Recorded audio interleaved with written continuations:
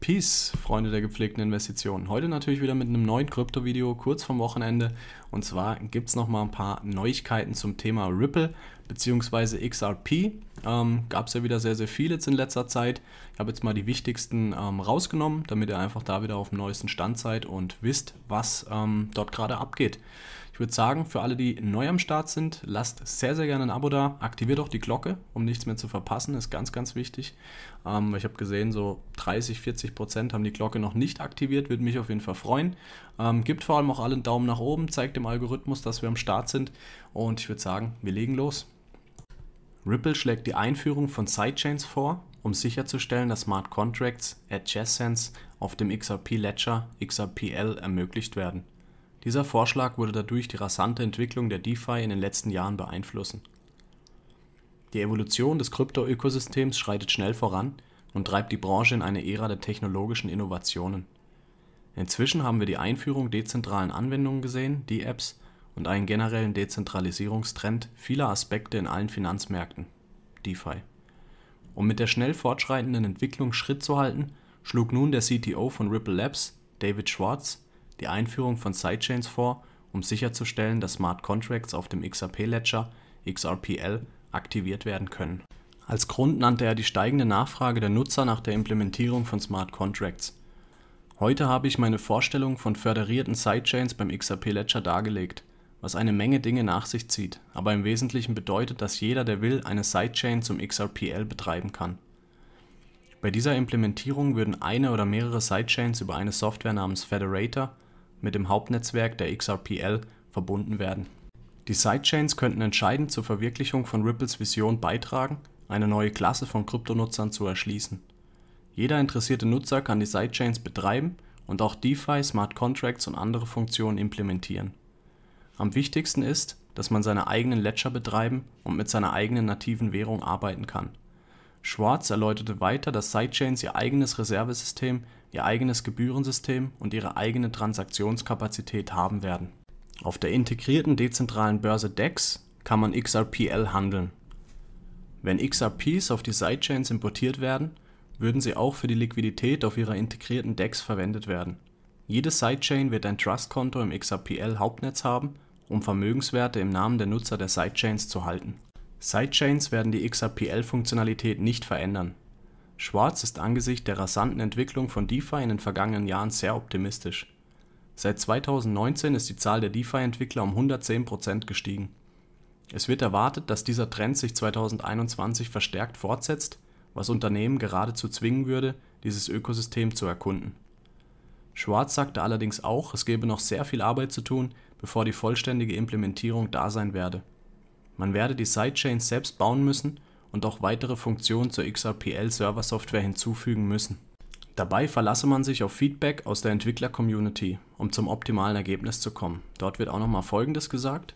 Da das Projekt noch in den Kinderschuhen steckt, bitten wir die Entwickler-Community um Rückmeldungen, um zunächst den Vorschlag zu verbessern und praktikabler zu machen. Wir haben die Community gebeten, Fragen zu stellen, Feedback zu geben und sich an der Diskussion zu beteiligen. Wie es aussieht, werden auch die bestehenden Funktionen der XRPL mit der Implementierung der Sidechains nicht ändern. Dies liegt an den Problemen, XRP und andere Token zwischen dem Hauptnetz und den Sidechains zu bewegen.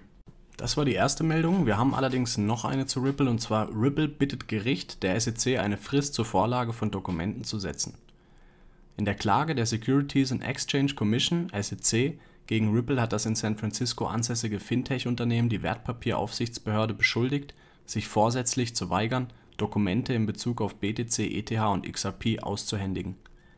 Dies geschieht trotz des Urteils von Richterin Netbirth vom 6. April, da sie die SEC anweist, die Kommunikation bezüglich der oben genannten Kryptowährungen offenzulegen. Der Stillstand ist ein weiteres Beispiel dafür, wie sich der Fall der SEC gegen Ripple aufbauscht. Ripple beschuldigt die SEC, sich dem Gerichtsbeschluss zu widersetzen.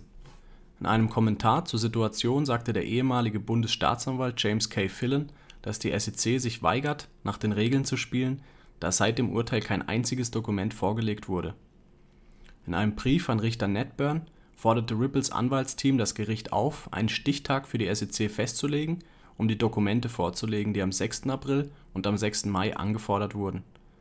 Michael K. Kellogg, der die Beklagten vertritt, sagt, dass die Ausreden der SEC, die darin bestehen, die Offenlegung der Dokumente als irrelevant und unnötig zu bezeichnen sowie Verlängerungen aufgrund interner Verzögerungen zu beantragen, nur durch die Festlegung einer strikten Frist gelöst werden können. Die SEC hat ihre Offenlegung wiederholt verzögert, während sie zu Richter Torres sagten, dass die angeordnete Offenlegung irrelevant und unnötig sei. Kommen wir zu dem Punkt, warum die Offenlegung von SEC-Dokumenten sehr wichtig sei oder ist. Ein kritischer Bestandteil der Verteidigung von Ripple gegen die Vorwürfe, dass man zusammen mit zwei wichtigen Führungskräften 1,3 Milliarden Dollar an nicht registrierten Wertpapieren verkauft hatte, ist das Argument der ordentlichen Bekanntmachung. Ripple ist der Ansicht, dass XRP zusammen mit Bitcoin und Ether kein Wertpapier ist und die SEC es versäumt hatte, eine offenkundige Mitteilung zu machen. Ripple behauptet, dass es extreme Ähnlichkeiten zwischen den drei Kryptowährungen gibt und XRP daher nicht als Wertpapier eingestuft werden darf.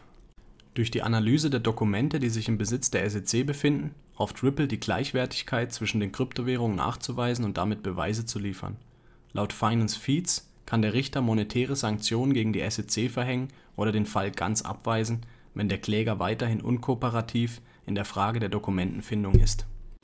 Ja, soviel zum Thema Ripple. Ich bin sehr, sehr gespannt, was da in Zukunft noch passieren wird, aber in meiner Meinung wird sich da weiterhin nichts ändern. Ihr kennt meine Meinung zu Ripple. Ich bin davon sehr, sehr überzeugt und mache mir da auch wenig Gedanken, dass das nicht klappt, weil ich lese da sehr, sehr viele, auch viele amerikanische News und man merkt einfach, dass die SEC da auf Krampf versucht, irgendwie Ripple da einen reinzudrücken, aber man merkt einfach an der Vorgehensweise, an der Arbeitsweise, dass die SEC da einfach im Dunkeln tappt, beziehungsweise da immer irgendwo das Haar in der Suppe sucht. Und meiner Meinung nach gehört sowas verboten. Bleibt aber abzuwarten. Meiner Meinung nach wird das Ripple bzw. XRP aber gegen die SEC ganz klar gewinnen. Ähm, hier nochmal am Schluss natürlich Werbung in eigener Sache. Ihr kennt das Spiel, für alle, die es noch nicht kennen. Ähm, wir haben einen Krypto-Discord-Server, auf dem ihr sehr, sehr gerne joinen könnt. Wir haben dort einen sehr, sehr guten Austausch, sind ich sage jetzt mal im Schnitt so zwischen 500 und 600 Leute dort. Und ja, könnt dort auch Fragen stellen, falls ihr neu seid, Beginnerfragen. Wir haben auch einen Hilfe-Chat.